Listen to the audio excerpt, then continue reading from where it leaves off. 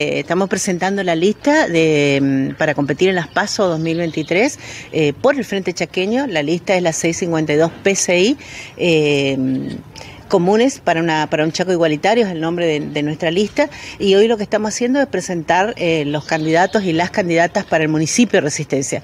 Eh, como precandidata a intendenta de la ciudad de Resistencia, eh, Gladys Cristaldo, quien les habla, y otros compañeros como Emi Cheramonte, que encabezan la lista de concejales.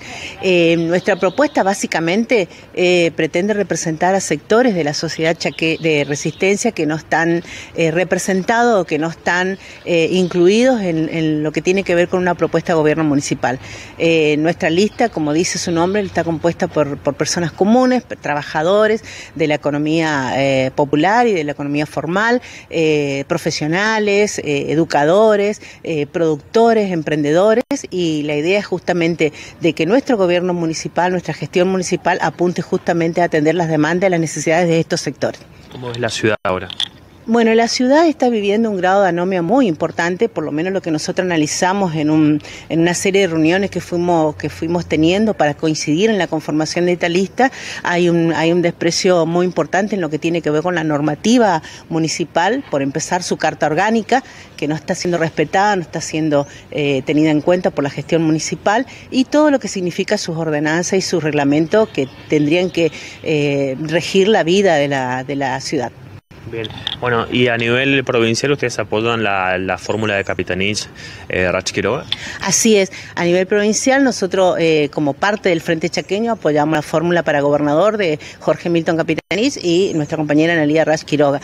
De ahí en más nosotros queremos discutir todo porque entendemos de que hay, hay propuestas que son importantes del Frente Chaqueño pero son insuficientes, no llegan realmente a representar a todos los sectores de la ciudad y obviamente muchos sectores de la ciudad quedan fuera de estas propuestas entendemos que muchas cosas que se plantean como eje de gobierno son importantes, pero fundamentalmente lo que nosotros apuntamos es atender las demandas, los reclamos eh, por ahí más sentido de las comunidades más pequeñas, las villas, los barrios, los asentamientos, donde realmente hay un abandono de la gestión municipal y esto nosotros lo vemos a diario porque son los lugares donde nosotros provenimos y de los lugares donde nosotros militamos.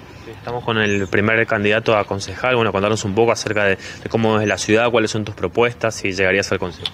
Sí, particularmente ahí, tomando lo que venía diciendo Gladys, compuesto, digamos, por eh, personas que vienen de distintas características, comerciantes, trabajadores y trabajadoras de la economía popular.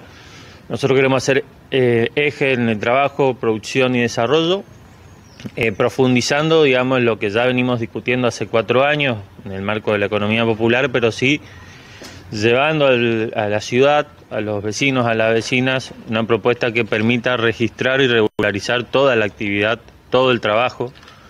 En el Chaco nomás hay 2.680.000 personas registradas en el RENATEP, que es el Registro Nacional de Trabajadores y Trabajadores de la Economía Popular.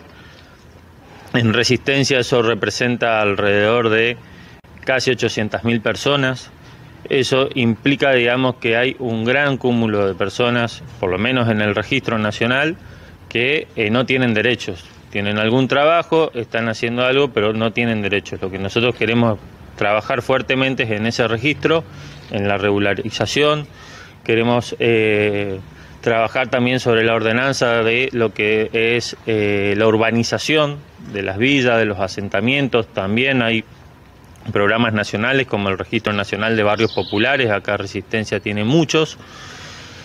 Y la propuesta básicamente, digamos, como venía diciendo Gladys, es poder llevar calidad institucional, regirnos con la Carta Orgánica, hacerla cumplir y sobre todo tener una participación eh, de vecinos, vecinas, con el presupuesto participativo que la Carta Orgánica rige, eh, teniendo en cuenta que los espacios públicos, cuando haya que intervenirlos, pueda tener participación el vecino de también tomar decisiones de cómo poder desarrollar eh, las mejoras de ese espacio y también digamos con distintos eh, actores como el deporte digamos pensamos en el armado de una escuela deportiva municipal que nos permita digamos integrar eh, en todos sus estratos la formación de niños niñas adolescentes en todo su desarrollo. Así que un poco desde este lugar es donde nos paramos con un montón de propuestas que tenemos desarrollado, pero básicamente desde ahí es donde eh, nos paramos nosotros para desarrollar digamos, la propuesta legislativa digamos, en el